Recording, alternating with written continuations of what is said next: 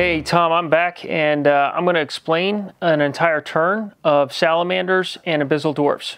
So the overview of the scenario is that the salamanders have come over this hill ridge over here um, and they're attacking down into the uh, abyssal uh, kind of uh, road area, which is rough terrain. Um, I'll run through the entire turn of the salamanders and then I'll run through the entire turn of the abyssal dwarfs and give you kind of a 15 minute um, primer to how to play this game. Um, so you start uh, first with the move phase.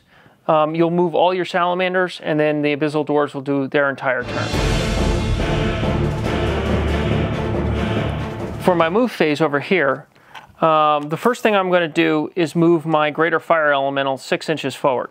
So I'm not going to charge specifically with him because right now he's in the front arc. So he gets one pivot, one 90 degree turn, and then he'll move six inches forward uh, to about here.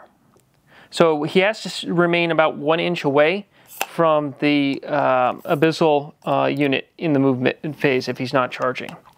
Then moving up the line, uh, the other uh, uh, regiment will just charge into the abyssal dwarfs. Um, coming off a hill, they'll get a, an additional thunderous charge. Uh, my shaman back here um, will just move five inches forward, and what he will do is he'll uh, prepare to cast Surge onto the fire elemental. Uh, but actually, what I'll do is I'll move him slightly forward so he's off the hill, uh, so he's out of the line of sight of the Abyssal Half-Breed champion. So these Abyssal Half-Breeds um, are half Abyssal Dwarf, half Horse, um, and I'm afraid that they'll charge into the flank of the fire elementals. What I will do is I'll actually sidestep um, these salamander primes over two and a half inches to block uh, the charge of the abyssal half-breeds. And then finally, I'll move my big phoenix forward and turn him slightly so that he can shoot the abyssal half-breeds coming in. All right, so beginning the range phase, I usually move from uh, one side, either the left side to the right side or the right side to the left side, but you can choose to cast spells or shoot your archers in any order. So starting off with my um, uh, Salamander Priest, I'm going to cast Surge onto my Greater Fire Elemental. Now he's in a good position because he's only one inch away, um, and I get to roll eight dice for Surge. So here we go. Uh, I got one die. Spells are very simple in this game. All you have to do is roll over four. Um, so I obviously got, and each die that I roll over four, model will move one inch that has surge. So the fire elemental will surge into the side uh, and get double attacks during the melee phase. That's coming up next. And then next, um, the phoenix is within 16 inches of these abyssal half-breeds. Uh, it has a flame attack that can reach uh, reach the target. So they'll roll 10 dice, which is uh, here, and they'll hit on a four and they'll wound on a 4 too. Uh, I'll explain that in a second. So over here, uh, we've got uh, six hits, so slightly above average. And then what you do is you check the defense model, uh, the defense value of the model with any modifiers. The modifiers are pretty simple here. Usually it's just uh, minus one or minus two. Uh, usually though you don't see minus two in range. So, but the Phoenix over here has no modifiers to its range attack. So six dice hitting on, uh, wounding on fours. So over here, um, we've got three wounds, right? Uh, so three wounds uh, for the Abyssal Half-Breeds. So over here, they've taken some damage, and now we need to give them a nerve check. The Abyssal Half-Breeds have a nerve of 11 and 13. So uh, when they suffer a wound uh, or something else causes them to make a uh, nerve check, you roll two dice and add the wounds.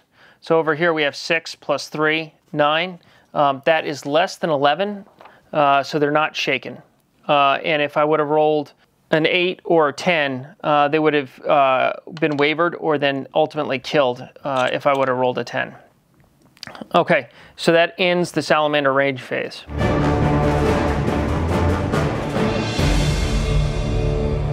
Beginning melee combat for the salamanders, uh, we'll start, I usually start from the left to the right or the left to the right. So we'll start over here with the uh, main fire elemental regiment that charged in. So normally they hit on fours, and as if you could see over here, uh, Fire Elemental is 4+. plus. Um, they are charging into rough terrain, um, but they have Pathfinder. So they'll uh, hit on fours And since they're charging off a hill, since they're more than 50% on this hill, they'll also get a, an additional thunderous charge uh, value. They'll hit on fours and wound on twos against the Abyssal Dwarfs. All right, so we got uh, four, five hits, about uh, about average there. Uh, and then five wounds. So it's not looking too good for the Abyssal Dwarfs. Over here on the side, we have the Greater Fire Elemental that has flanked the Immortal Guard on the, on the side here. So since it gets double attacks, it means it rolls 16 dice. 8 times 2 is 16. Uh, it hits on a 3. It also has Pathfinder, um, but it also has Crush, uh, Crush 3. So hits on 3s, wounds on 2s. 12.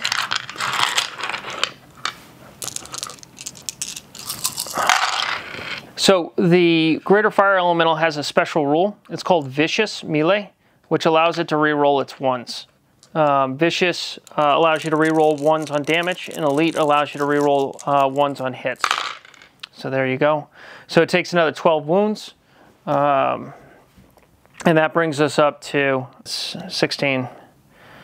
Uh, so basically right now, this unit has taken um, a devastating amount of wounds.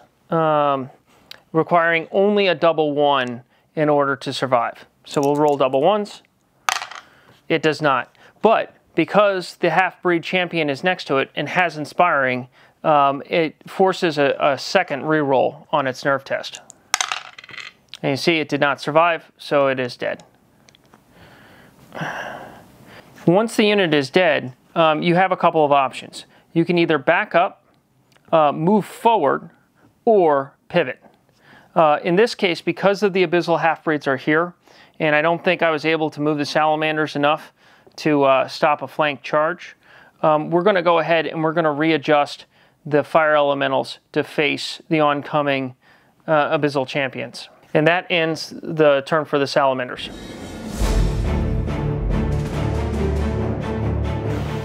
Okay, so we're going to go back into the uh, first turn of the abyssals. Uh, now they need to counterattack, and they need they're kind of desperate straits because they lost the center and the um, uh, center part of the road.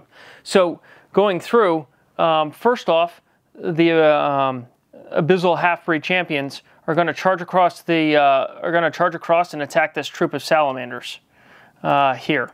But they have something called regeneration, which allows them to heal their wounds. So they took three wounds from the Phoenix previous turn, but we're going to roll three dice and if they get uh, 5 plus, they heal automatically. Yeah, no luck for them.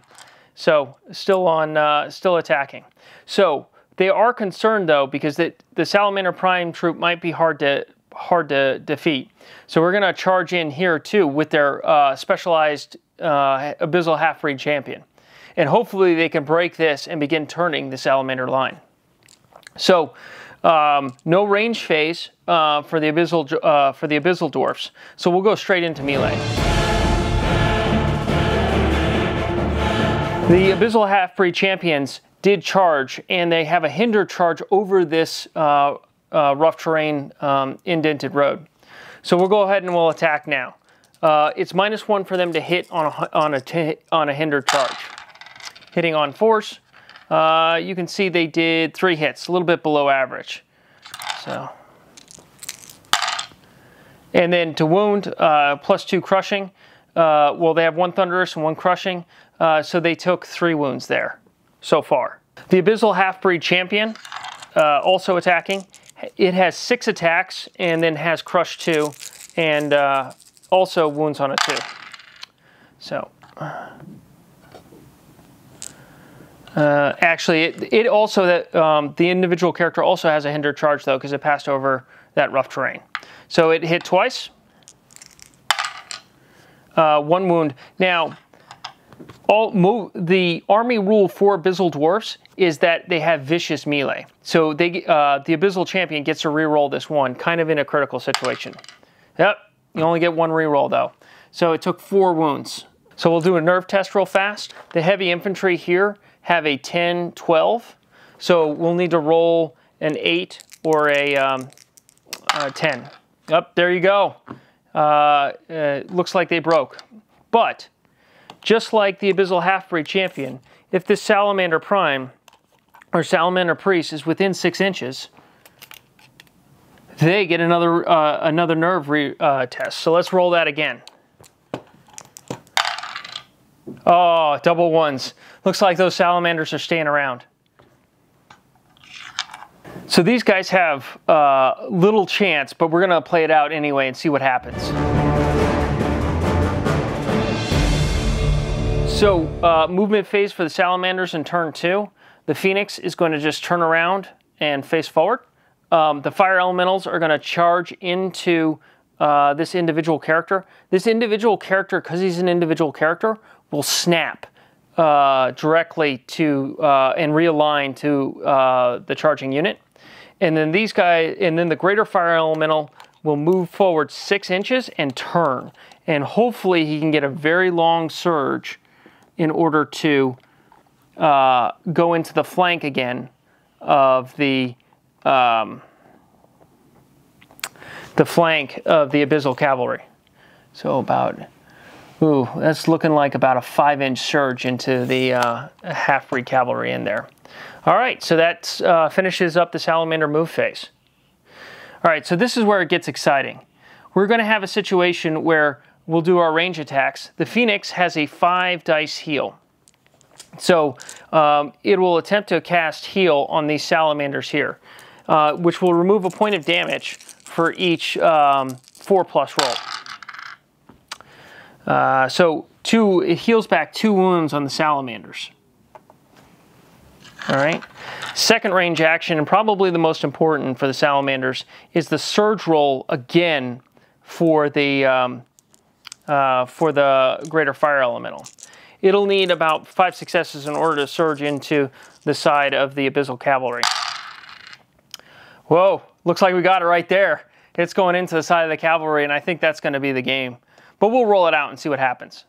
We're going to start here with the Abyssal Cavalry uh, because they are a scoring unit, um, meaning they have unit strength, whereas individual characters like the Half-Breed Champion and the Salamanders don't have unit strength and can't score many objectives. Salamander Primes have 10 attacks, hitting on fours. So, two more dice. All right. Hitting on fours. Um, and they have crush one, so they'll wound on threes. All right. That's a good roll for fours.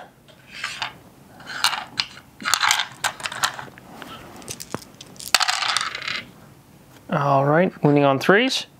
That's another three wounds uh, for the Abyssal Cavalry. And then, of course, here, this is why they call it ranks and flanks.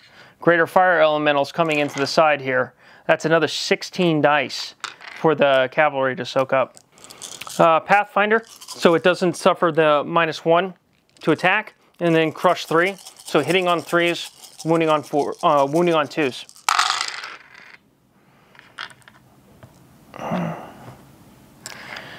Alrighty, so that's um, 12 hits again. Uh, and then it wounds on twos, but it also has the vicious rule, which means uh, it's going to do you a lot of damage here. That's off the trail. And you see that vicious really paid off. We got to re-roll four dice right there. So that's another 12 wounds onto the um, Abyssals, uh, and they are devastated. All right, so we'll go ahead, we'll uh, do two nerve checks here for the cavalry and take them uh, and see if they, uh, one, two. Remember, if you roll double ones, uh, they, stay, they stay around no matter what. So that's the end of the Abyssal Cavalry and the Abyssal Force. Looks like Salamanders carried the day again.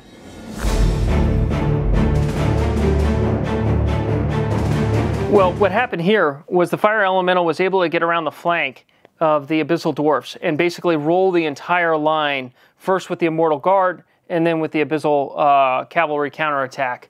It was able to roll up the, uh, the Abyssal line and defeat them in detail. And that's kind of the joy of ranks and flanks, is you get that feel of, of uh, angles and positioning, and if you uh, successfully uh, either uh, break through the center and turn outwards, or you break through one flank on the right or the left, um, you could have a very uh, interesting and fulfilling game.